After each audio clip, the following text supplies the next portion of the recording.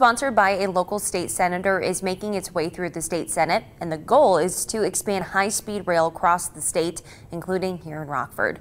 House Bill 399, create 399 plans to create a commission to create a network of new and existing passenger rail lines.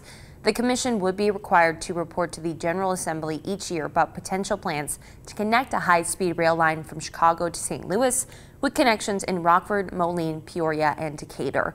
The bill was sponsored by Rockford State Senator Steve Stadelman. The state already has $275 billion earmarked to bring rail to Rockford from Chicago.